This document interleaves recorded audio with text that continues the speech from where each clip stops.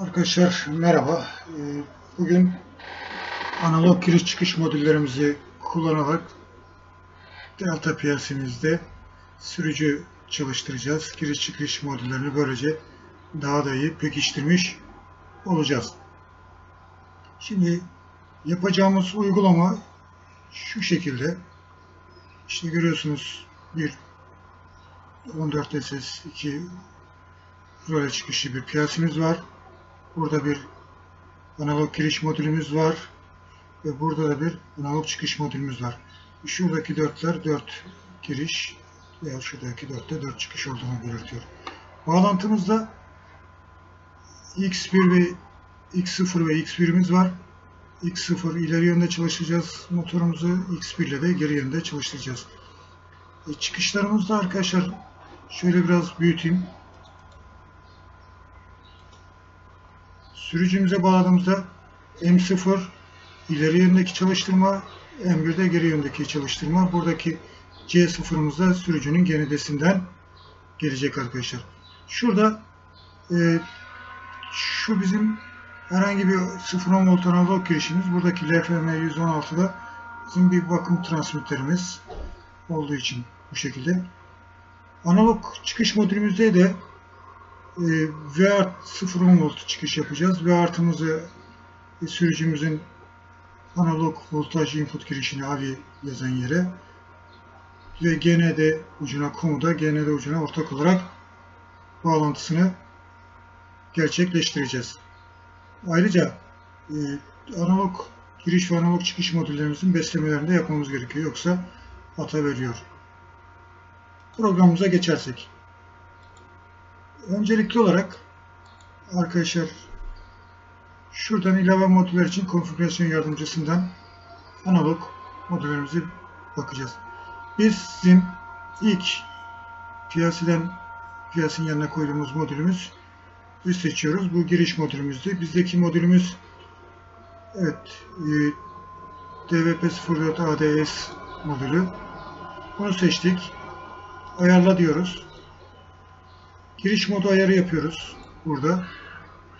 Giriş voltajları bu şekilde olduğundan şuradan nedir işte piyasımız ilk açıldığında ilk döngüde hemen bunu tanısın diyoruz. Buradan aldık. Şuradan bakıyoruz 0-10 volt yok. Burası eksi 10 ve 10 volt olarak kalacak. Ön izleme diyoruz. Komutumuz bu. Bunu listeye ekle diyoruz. Daha sonra birinci kanalımızın giriş ortalama değeri ne alıyoruz şuradan altından. Bunu piyasimiz rana geçtikten sonra sürekli kapalanacak olan kontağımız M1000 yani bu nereye yazsın? Arkadaşlar bu D50'ye yazsın.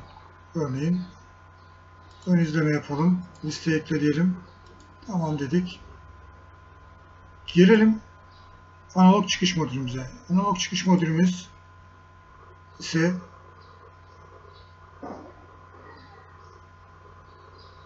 şu modülümüz seçtik. Ayarla dedik. Çıkış modu ayarı yapacağız. 0 volt çıkış olarak yapacağız.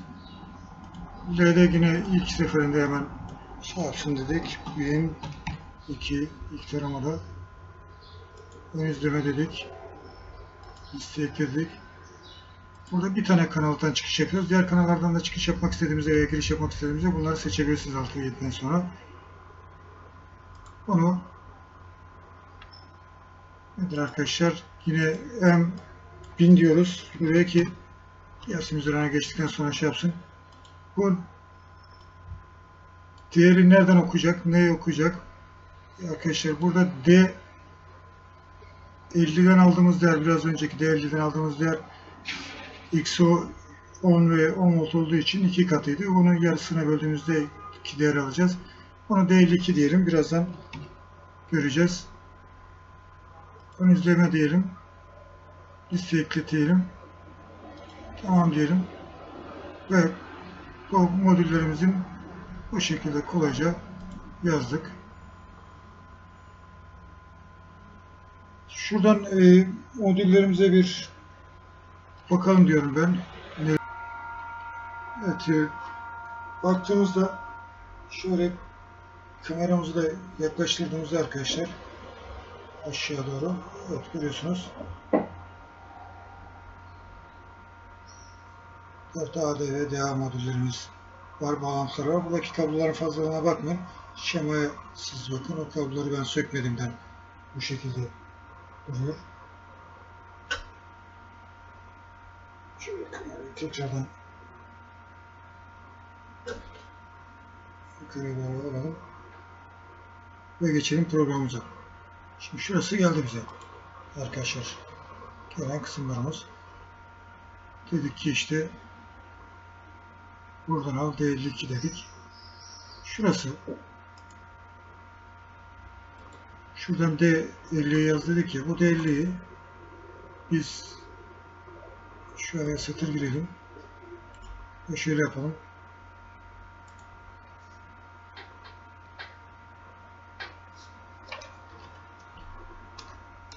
M M1000'den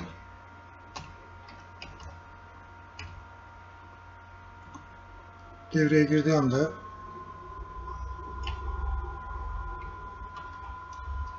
bölüm yapalım. D50'yi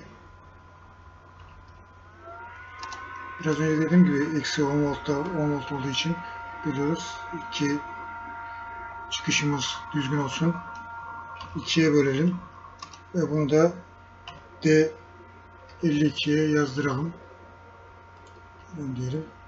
Ve böylece D52'den okuduğumuz değeri yazdırmış olacağız çıkışımıza. Geldi sürücünün çalışması için gerekli olan komutlar. X0 komutumuz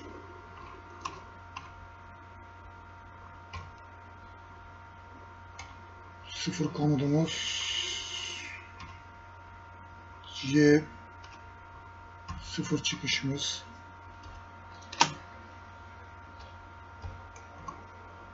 versin ve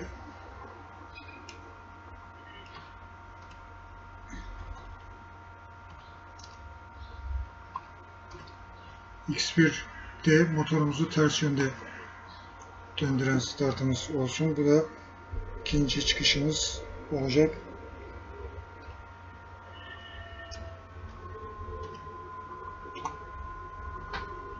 Yani şu segment açıklaması düzenlersek böyle açıklaması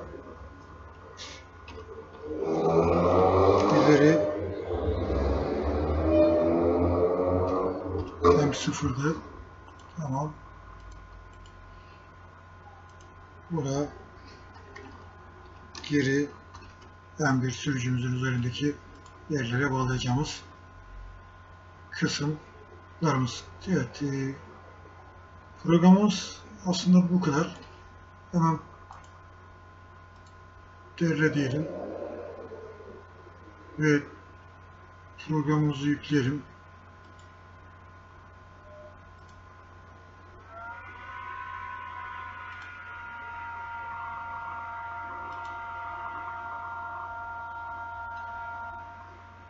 Şöyle analog olarak takip edelim. Şu anda nelerimiz var? Şurada. Evet arkadaşlar şimdi önce bir bakalım. X X0 ileri yönde bu. Evet, gördüğünüz gibi motorumuz ileri yönde dönüş yapıyor. ve frekansımızın arttığını da gördünüz. Çektiğimizde durdu.